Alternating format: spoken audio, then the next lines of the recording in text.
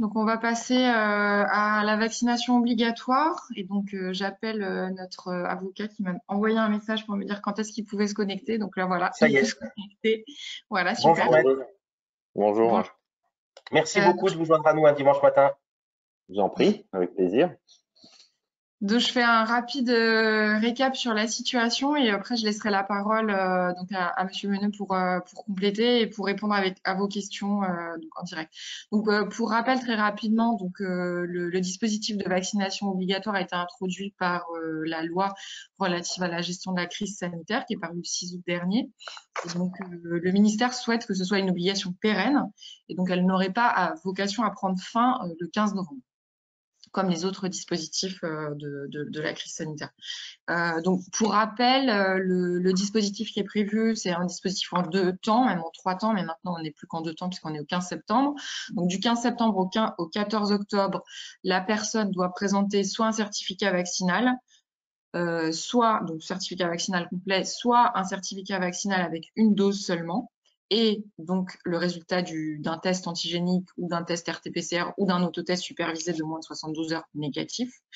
Ou elle peut également présenter un certificat de rétablissement, donc qui est un test antigénique ou un RT-PCR de plus de 11 jours et de moins de 6 mois.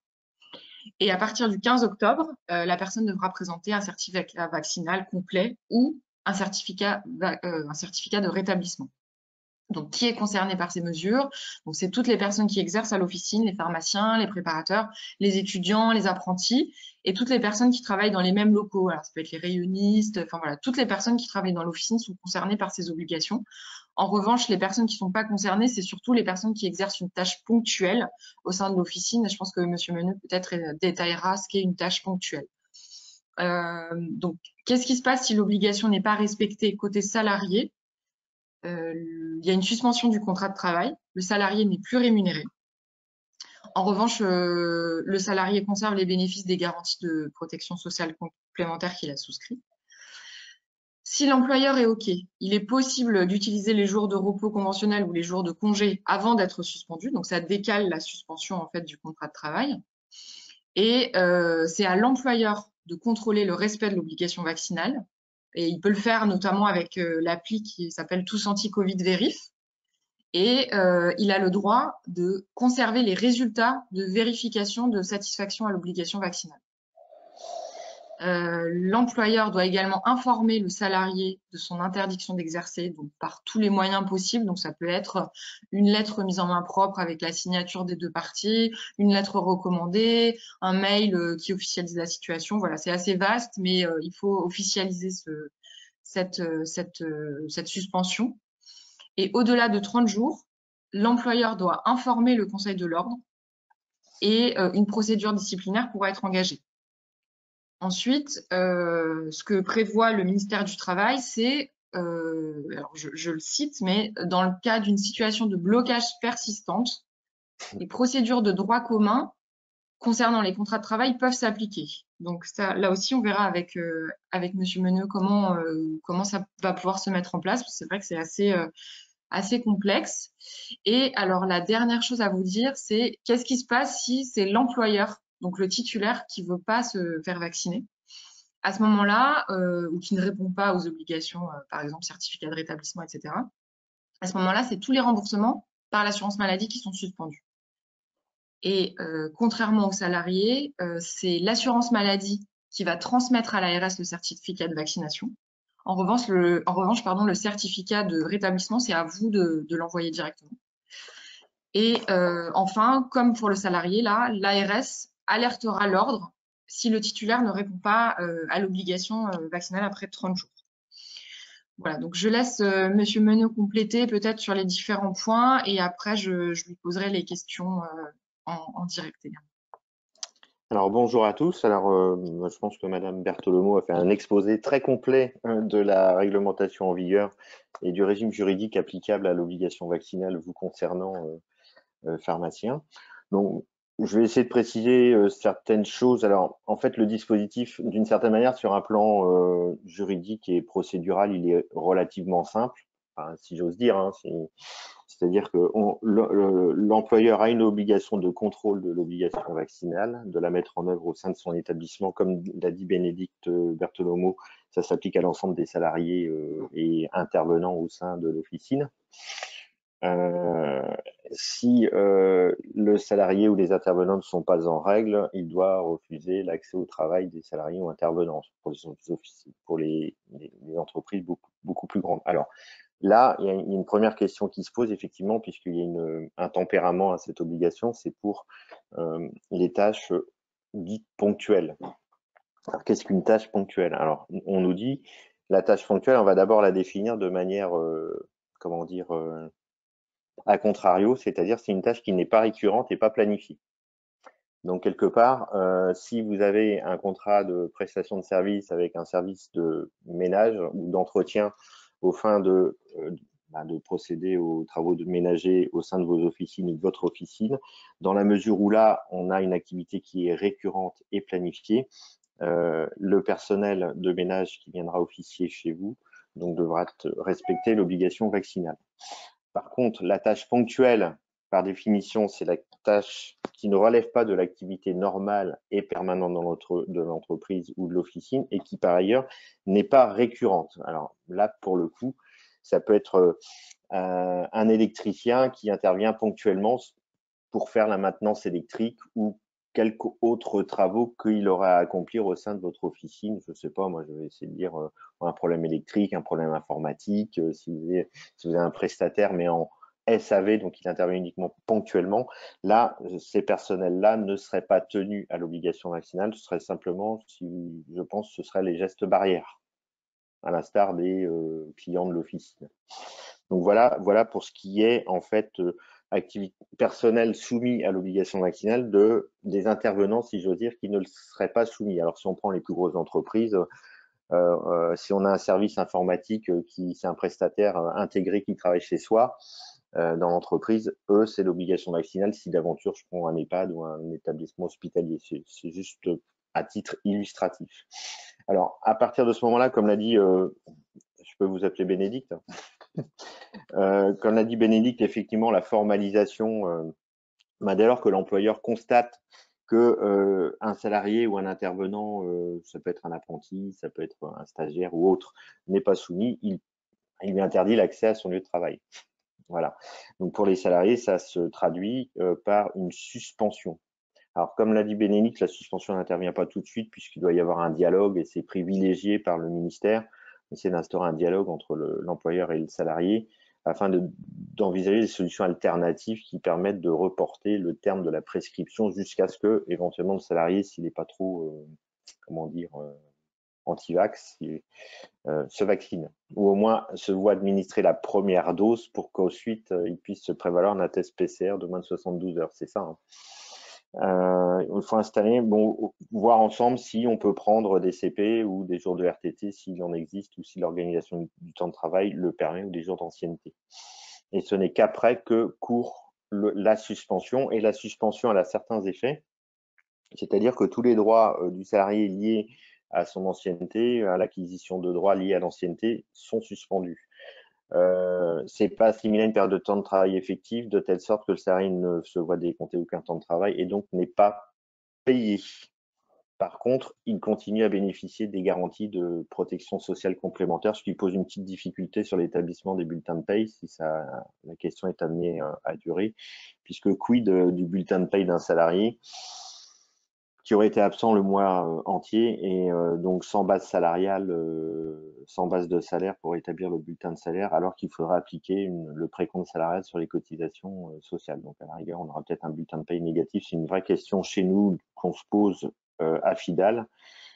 c'est le cabinet auquel j'appartiens, avec notre régime de prévoyance là-dessus. Donc ce serait peut-être un bulletin négatif. Donc une petite question, une petite question là-dessus. Euh, et qu'est-ce que je voulais dire d'autre Donc, suspension de la rémunération, suspension des droits liés à l'ancienneté, maintien de la PSC. Alors, la vraie question ensuite, c'est quid si la, solution perdure et si un, un, blocage perdure? Alors, alors, au départ, le législateur, il avait introduit la possibilité de licencier les salariés dont, qui persisteraient à ne pas vouloir euh, déférer à l'obligation vaccinale mise en place par l'employeur. Et ça a été censuré par le Conseil constitutionnel sur le fondement, je crois, c'est de la liberté du travail et euh, la liberté du travail, je crois. Enfin, c'est sur le fondement de, l'atteinte à une liberté fondamentale qui est notamment la liberté du travail. Donc ça a été censuré, ce qui conduit le ministère à nous dire voilà, bon, ben, on applique le droit commun. Alors, ça veut tout et rien dire. Alors, le droit commun, effectivement, donc ça veut dire que le code du travail recouvre euh, son, sa pleine application. Et d'ailleurs, euh, l'avait-il jamais perdu sa pleine application Alors, le droit commun, c'est quoi? Alors là, on manque de recul hein, à ce stade. Bah, le droit commun, c'est effectivement, on a une obligation vaccinale. Donc, ça veut dire qu'on répond à, une, prescription sanitaire. On est d'accord? Euh, Donc, pour ceux d'entre vous qui seraient soumis à l'obligation de, mettre en place un règlement intérieur, peut-être que ça répondra à des questions d'hygiène et de, santé, l'obligation et le non-respect de l'obligation vaccinale euh, ben, contre, contreviendrait au règlement intérieur. Cependant, le salarié, dans le contrat est suspendu, il ne contrevient pas aux prescriptions que, prévoit le règlement intérieur. Alors, le droit commun, alors je sais qu'en droit du travail, on, essaie de, on a un peu creusé la question, on essaie d'imaginer les solutions. Alors, à ce stade, il y a peut-être deux ou trois pistes qui sont envisageables. Une sur la base d'une jurisprudence de 2012 euh, qui, qui concerne euh, qui concernait un salarié des pompes funèbres, pour lequel euh, bah, c'est un secteur dans lequel j'ai découvert qu'il y avait une obligation vaccinale contre certaines maladies infectieuses liées à l'activité. Et c'était l'histoire d'un salarié donc, qui avait refusé de se faire vacciner, qui donc a été licencié euh, de ce fait-là. Donc, euh, on a un arrêt de la Cour de cassation de, de 2012 qui euh, valide un licenciement pour refus d'une obligation vaccinale, de refus de déférer une obligation vaccinale. Euh, alors, en l'occurrence, ça a été instauré par la branche et la convention collective. Donc là, ce qu'on pourrait dire, c'est que l'obligation vaccinale, euh, là, elle est prévue par la loi. Et donc là, on aurait finalement un, fond, un fondement législatif, donc textuel, pour fonder un licenciement. Alors, après, moi, je pense qu'il faut remettre ça en perspective avec la durée pendant laquelle va perdurer cette obligation. Alors, a priori, on a l'air de s'orienter vers un, pass vaccinal qui va durer dans le temps. Euh, que dès lors, euh, le refus de, personnel de santé ou de personnel de l'officine à se faire licencier peut créer un trouble dans l'organisation euh, de l'officine. On est d'accord?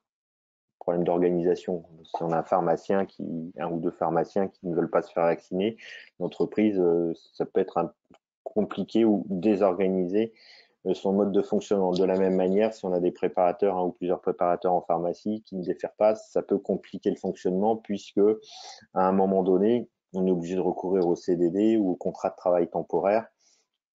Et là, euh, bah, ça coûte un peu plus cher, c'est un peu plus précaire, etc. Alors, puisque je parle du travail temporaire, euh, évidemment, les, travailleurs temporaires que vous seriez amenés à recruter sont soumis au pass vaccinal et d'ailleurs, c'est à l'agence de travail temporaire de, voir si elle peut vous fournir quelqu'un dont qui a déféré au pass vaccinal. Alors la difficulté, elle est là en fait. Est-ce qu'on peut aller au licenciement ou pas? Techniquement, j'ai envie de vous répondre oui. Oui, techniquement oui. Euh, sur le fondement euh, de l'obligation vaccinale et peut-être de du refus d'y différer, que des conséquences du refus d'y différer que ça aurait sur l'organisation de l'entreprise, puisqu'on a un autre type de licenciement qui est possible en droit commun, c'est l'absence prolongée ou répétée du salarié qui désorganise le fonctionnement du service ou de l'entreprise. Bon, en l'occurrence, ce serait l'officine. Donc, euh, un pharmacien ou deux pharmaciens, je ne sais pas si euh, vous êtes confronté à, à plus ou moins de personnel qui refuse de se faire vacciner, là on pourrait avoir une cause de licenciement qui, serait fondée sur le remplacement définitif euh, d'un salarié dont l'absence prolongée des organismes d'entreprise. Donc là, sur la lettre de licenciement, il faut caractériser donc euh, le dysfonctionnement que crée l'absence. Il faut le caractériser et il faut, indiquer en, en quoi l'absence prolongée désorganise et nécessite le remplacement. c'est tout un, on va dire un savoir-faire rhétorique. C'est toujours euh, plus ou moins, il y a toujours un aléa puisque le, salarié ne manquera pas sans doute d'aller au prud'homme contester son licenciement et donc il faudra défendre euh, la position. Néanmoins, la mise en œuvre d'un licenciement mm, du fait du refus vaccinal est possible puisque le droit commun s'applique à un moment donné. Simplement, il y a toujours un risque à licencier le salarié puisqu'on n'a pas beaucoup de recul là-dessus. Un, sur le refus de l'obligation vaccinale, euh, sur la base de l'arrêt rendu sur les pompes funèbres et d'autre côté, c'est l'absence prolongée qui désorganise l'entreprise où là, il faut la caractériser. Donc, il y a toujours un risque à licencier. Néanmoins, techniquement, ça reste possible.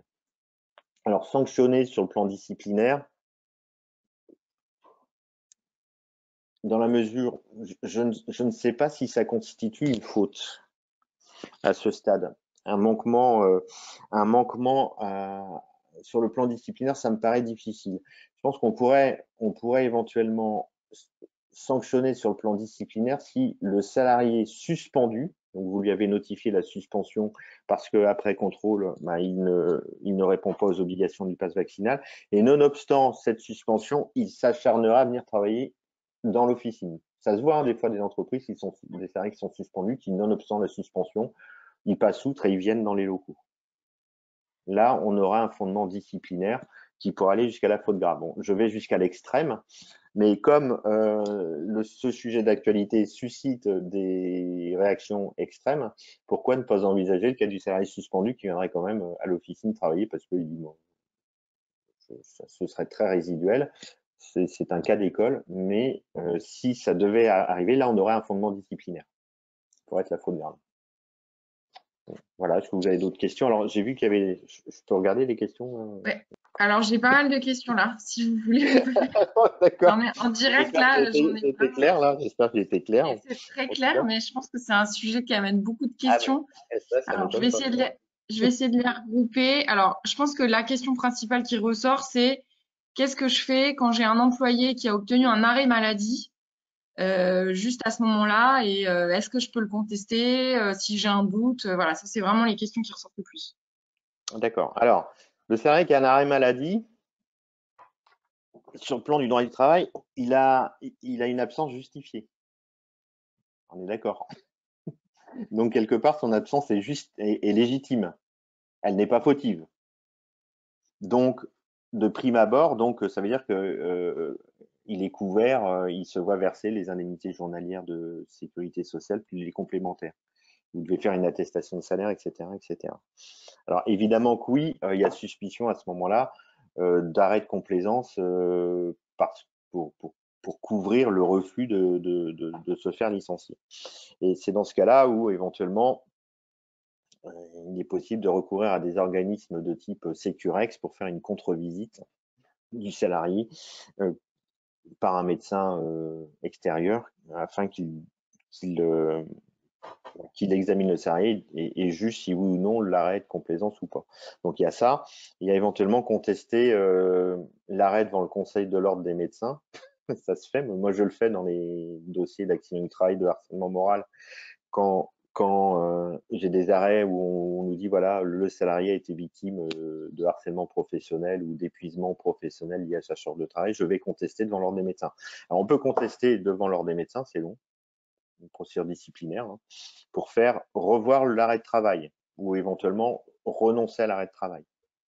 C'est long, c'est long, ça prend des mois. Le temps qu'on réunisse la commission de discipline de l'ordre, euh, c'est long, c'est à plusieurs mois. Donc j'aime autant vous dire qu'il se sera passé du temps avant que vous ayez. De la même manière, ce qui serait le plus rapide à la rigueur, c'est avoir recours à Sécurex, faire une contre-visite.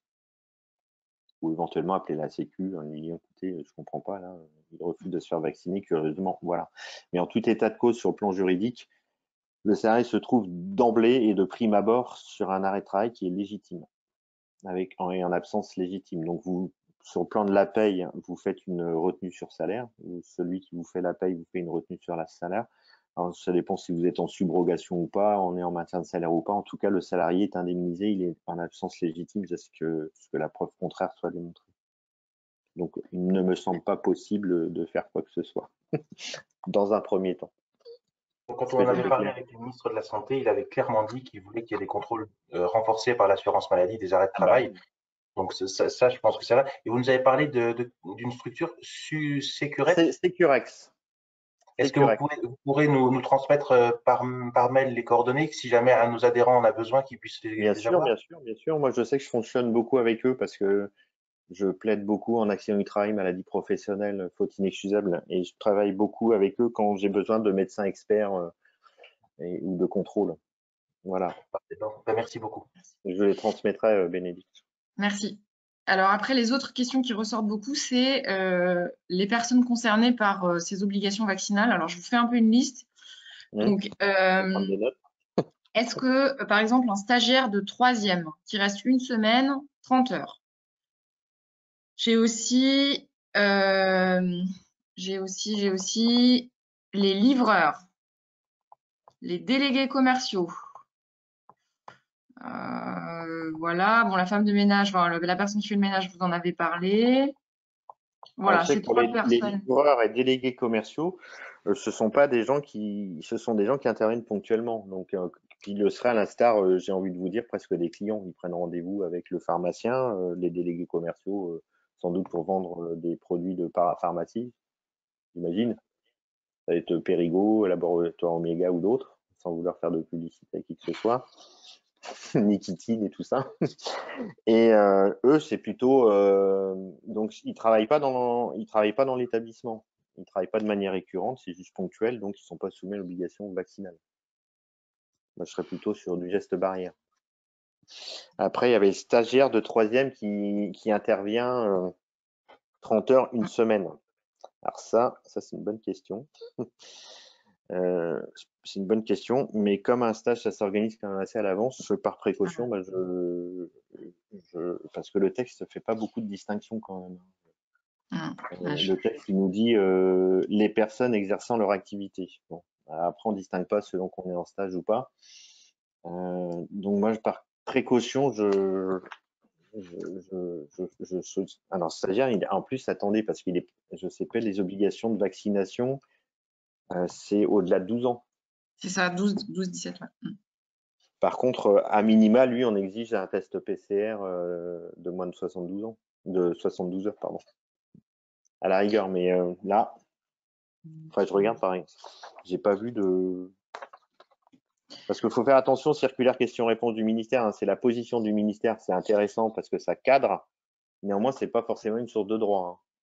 On est d'accord. C'est cadrant, c'est bien, c'est intéressant parce que ça nous donne euh, la position de l'administration par rapport à la réglementation qu'elle a elle-même édictée d'une certaine manière euh, en, matière de décret. Et, euh, et c'est la position du gouvernement, on va dire, s'agissant des lois qu'il fait voter. Euh, moi, le stagiaire. alors après, je pense qu'il faut distinguer selon l'âge du stagiaire.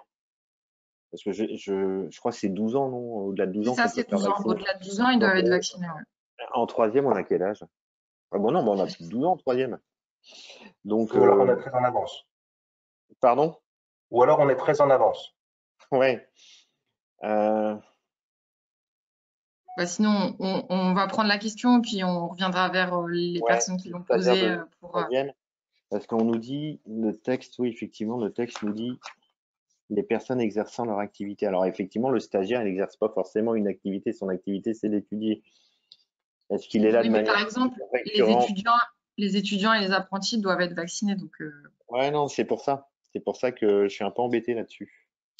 Bah, on, garde, on garde la question, puis on, passe aux autres et puis on, y répondra plus tard. C'est noté. Euh, euh, j'ai aussi. livreurs délégués médicaux, c'est bon, vous êtes la position pour moi, c'est geste barrière. Vous êtes d'accord? Tout à fait. donc, quel risque pour le titulaire qui ne suspend pas le contrat de travail de son salarié non vacciné? Voilà, c'est un, risque pénal. C'est euh, une amende. aussi. Amende. Des amendes prévues par les taxes, alors je les ai plus sous les yeux, mais euh, c'est des amendes.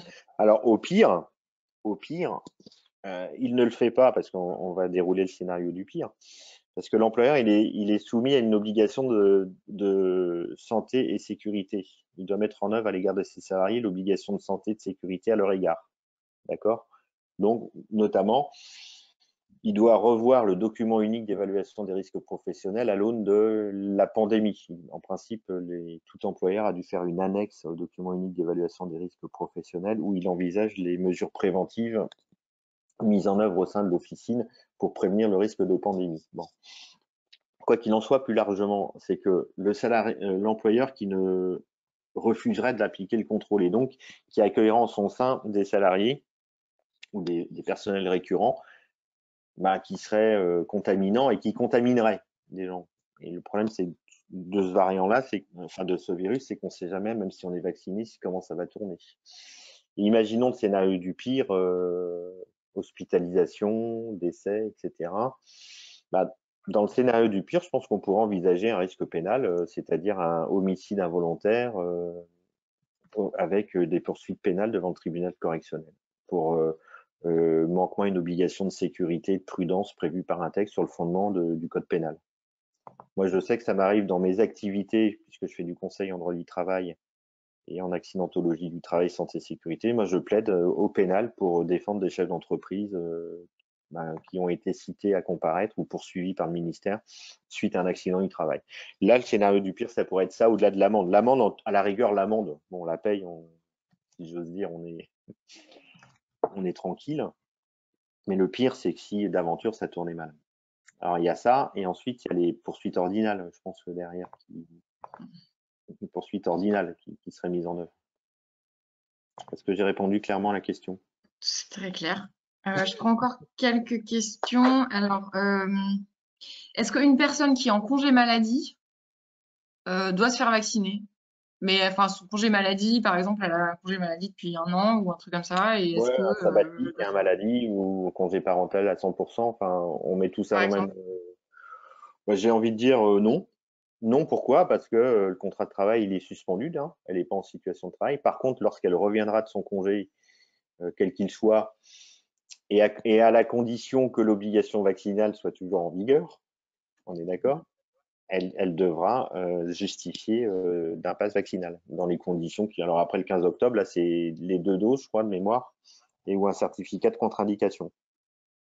Voilà. Si elle ne fournit pas ces, justifications, euh, son contrat de travail sera suspendu et son, employeur aura l'obligation de la suspendre. C'est clair? Très clair. Je réponds juste à une question que je vois beaucoup. Euh, le certificat de rétablissement, qu'est-ce que c'est? Le certificat de rétablissement, c'est euh, le résultat positif d'un test antigénique ou d'un RT-PCR de plus de 11 jours et de moins de 6 mois. À partir de combien de temps d'arrêt est-il possible de considérer une désorganisation de l'entreprise pour un licenciement? Ah, ça c'est la question. C'est même la question qu'on se pose nous à chaque fois qu'on a un licenciement à faire comme ça. Alors, parce que le lit, alors, en la matière, c'est des organisations qui nécessitent le remplacement définitif du salarié. Voilà, donc il faut justifier du remplacement définitif. Donc, moi, je pense que 30 jours, c'est pas suffisant. 30 jours, c'est pas suffisant parce que euh, euh, c'est le délai que donnent à peu près les textes euh, pour, pour saisir l'ordre. Parce que le, souci qu'on a, c'est des confrères qui ont un, deux, voire trois salariés qui doivent, euh, qui sortent de, qui sortent de la, structure parce que pas vaccinés. Ils ne peuvent pas les remplacer parce que ben, parce qu'ils sont ils sont encore dans, ils sont ils font encore partie du personnel même s'ils ne sont plus en travaillant effectif. Ils ont du mal à trouver des CDD parce que c'est difficile de trouver un CDD surtout quand on est un peu loin et qu'on on doit faire un contrat euh, les gens ne se déplacent pas pour un contrat pour un mois, si vous voulez. Donc, c'est dur de, de, de, pouvoir de pouvoir compléter l'équipe. Alors, on a quand même une surcharge de travail conséquente entre la vaccination, les tests, etc. Donc, c'est pas simple.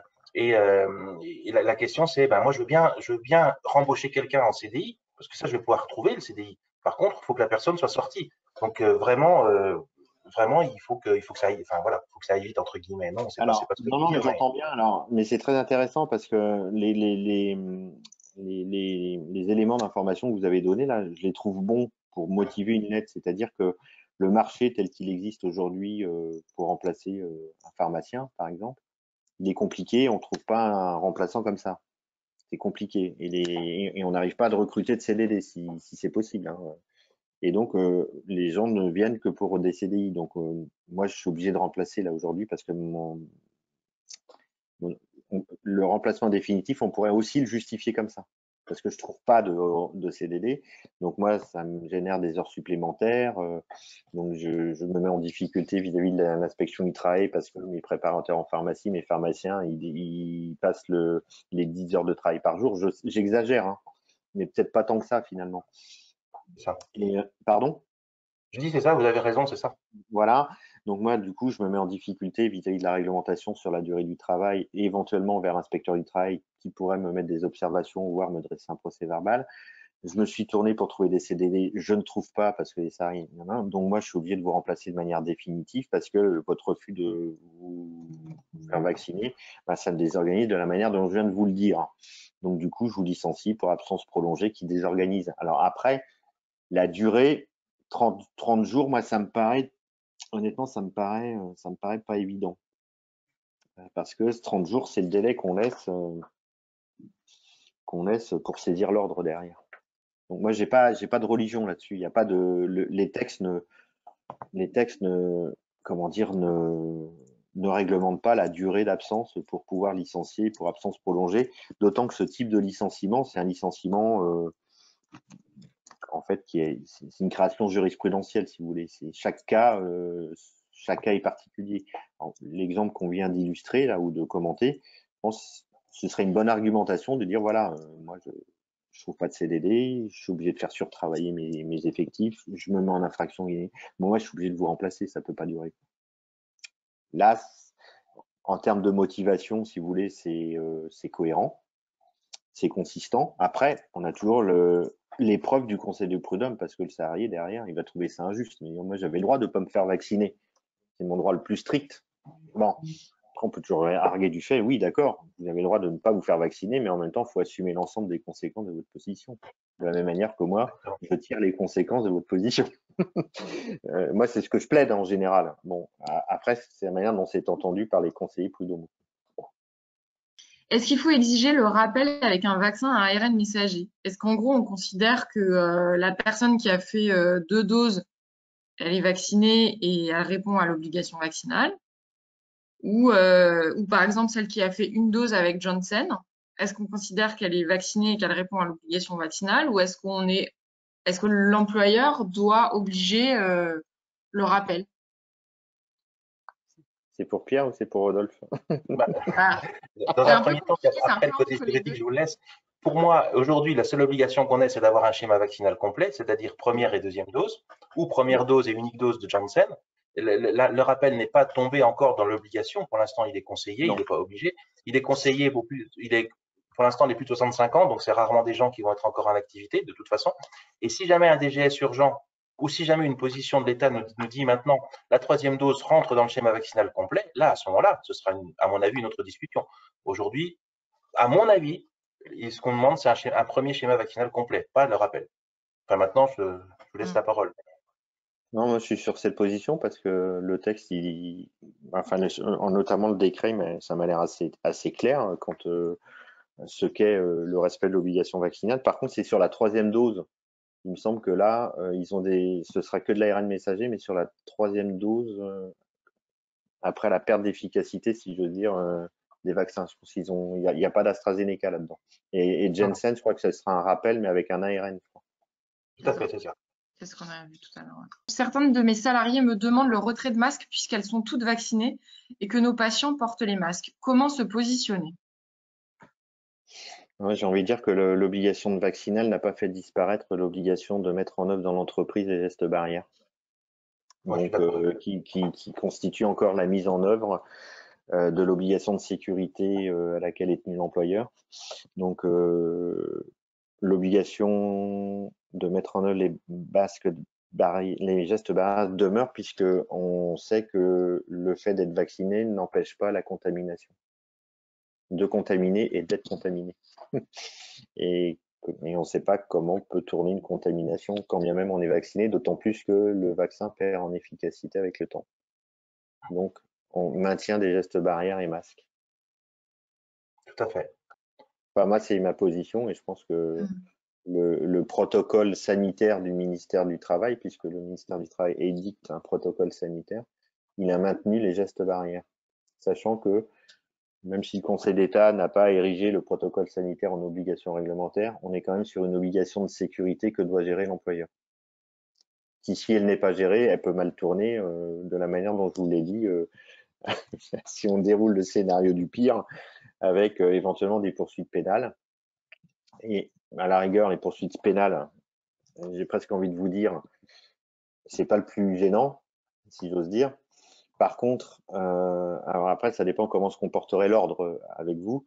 Après, c'est les poursuites civiles. Imaginons un salarié euh, qui se fait contaminer dans l'officine et qui donc se fait hospitaliser, reste avec une grosse incapacité, Covid long, etc.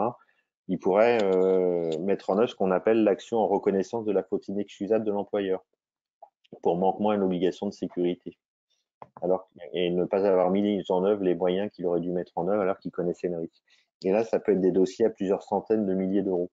Moi, je vais en plaider un à la cour d'appel de, Lyon. Là, c'est un accident du travail, c'est différent. Mais il y a des impotences, des invalidités, et, là, on me demande 200, 250 000 euros. En dehors de la majoration de rente où j'ai déjà versé 250 000 euros. Ah, moi, les systèmes d'assurance, à ça, je vous fais peur. Mais en même temps, c'est vrai qu'on parle juste de gestes barrières, mais les conséquences, elles peuvent être très très lourdes, d'autant plus lourdes que bah, on est sur une officine, c'est avec une assise financière qui est celle d'une officine, qui n'est pas celle d'un grand groupe international. Je ne fais pas de, de discrimination, je ne veux pas être méprisant du tout, hein, mais euh, ça peut coûter très très cher, très très cher. Donc euh, je vous invite à respecter euh, les gestes barrières et le port du masque et tout ce qui s'ensuit. Tant que c'est préconisé par le ministère du Travail, etc. Est-ce que j'ai été clair? Oh, Parfaitement. bon, bah, cette fois, c'était la, la dernière. Je pense qu'on a, on a fait le tour des questions. Merci beaucoup, d'avoir été là euh, un dimanche matin. Bah, si on peut tirer une conclusion de ça, c'est de dire que devant la complexité, si jamais on doit engager une procédure de licenciement d'un de nos salariés qui est mis en marge de l'entreprise à cause de sa non-vaccination, vaut mieux passer par un avocat qui va monter le dossier et qui va après plaider l'affaire au prud'homme. Euh, oui, alors il ne s'agit pas de, de, effectivement de récupérer. Euh, mais non, mais c'est moi qui le dis, c'est pas vous, mais c'est moi. Mais je me dis, je que non, en fait, le, en fait, si vous voulez faire un licenciement, surtout dans ce contexte-là, je pense que déjà qu'il y a pas mal de, ça cristallise beaucoup les passions. Euh, alors qu'en plus, ça, ça, se traduit in fine par le licenciement de quelqu'un qui parle de bonne foi, hein, sans doute, euh, ou par conviction de ne pas se faire vacciner, je pense que oui, ça ira au prud'homme. Euh, et on n'a pas la certitude, hein, je, vous, je, vous, préviens, c'est pas parce qu'un avocat vous fait la lettre, hein, il s'agit pas de. On essaiera d'argumenter au mieux possible les raisons de l'absence prolongée, etc., euh, ou d'étudier les fondements juridiques qu'on pourrait utiliser pour mais euh, on ne garantit pas un résultat à 100% devant une juridiction. Il y a toujours un aller, hein, je, vous préviens. Mais oui, on peut, un avocat pourra vous aider à présenter de la meilleure des manières possibles l'argumentation qui motivera un licenciement. Devant la difficulté, c'est peut-être bien de, faire ça. En tout cas, merci beaucoup, maître. Mais je vous en prie. Merci, bonne journée à vous, bon dimanche. Merci, au revoir. Au revoir.